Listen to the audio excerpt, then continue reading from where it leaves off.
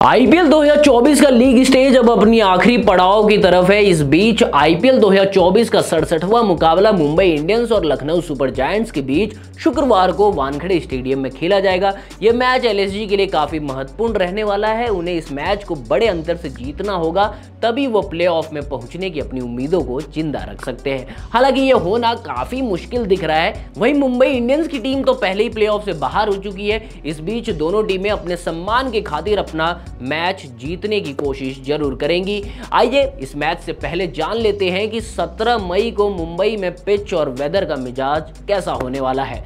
Mumbai Indians की team अपना IPL 2024 का आखिरी मुकाबला खेलने शुक्रवार को होम ग्राउंड वानखड़े स्टेडियम पर उतरेगी। इस मुकाबले में भारी तादाद में लोकल क्राउड भी सपोर्ट करने के लिए मैदान पर आ सकता है। फैंस को दोनों टीमों के बीच एक कड़ा मुकाबला देखने को भी मिलेगा।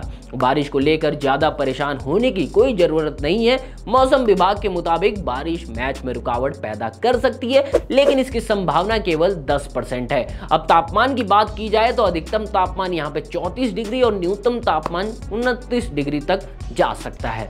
वहीं अब पिच रिपोर्ट की तरफ़ बढ़ा जाए तो वानखड़े की पिच बल्लेबाजी के लिए पैराडाइज मानी जाती है। यहाँ फैंस को एक हाई स्कोरिंग मैच देखने को मिल सकता है। बाउंड्री छोटी होने की वजह से फैंस को चौके छक्कों की बरसात होते हुए दिख सकती है। हालाँकि इस मैदान पर तेज गेंदबाजों को मदद मिलते हुए देखा गया है। तेज गेंदबाजों को हल्की सीम मूवमेंट भी मिल सकती है, यानी पेसर्स को शुरुआती कुछ ओवर्स में विकेट लेने में आसानी होगी। हालाँकि मैदान छोटा होने के कारण बल्लेबाजों को काफ़ी रन बनाने में मदद मिलती है। यहाँ की पिच सपाट और रन खूब बनते हैं। साथ ही उछाल भी मिलता है और गेंद बल्ले पे अच्छे तरीके से आती है। इस मैदान पर हाईएस्ट स्कोर 234 रन है, जबकि सबसे लोएस्ट टोटल सत्तासी रन का है। अब यहाँ के आंकड़ों की अगर बात करी जाए तो वानखड़े स्टेडियम में कुल अभी तक 115 आईपीएल मुकाबले खेले जा चुके हैं, जिसमें से पहले बैटिंग करते हुए टीमों ने तिरपन मुकाबले जीते, जबकि चेज करते हुए यहाँ पे टीमों ने बासठ बार सफलता हासिल की है।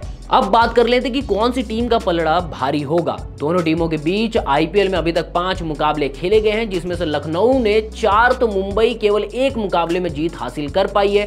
आंकड़ों में एलएसजी का पलड़ा साफ़ तौर पर भारी दिख रहा है। अब छठे मुकाबले में कौन सी टीम किस पर भारी पड़ सकती है, इसका आकलन करना थोड़ा मुश्किल है।